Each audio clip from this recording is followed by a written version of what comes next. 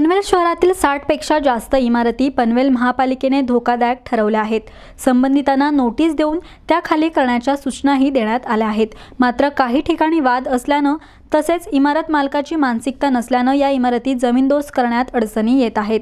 दरम्यान कोणती दुर्घटना होऊन मनुष्य आणि वित्तहानी होऊ नये यासाठी पनवेल महापालिकेने टपाल नाका येथील हरिप्रसाद गुप्ता यांच्या मालकीची अति धोकादायक झालेली इमारत पाडण्यात आली आहे. यासाठी आयुक्त गणेश देशमुख यांनी संबंधित अधिकाऱ्यांना आदेश निर्गमित केले होते.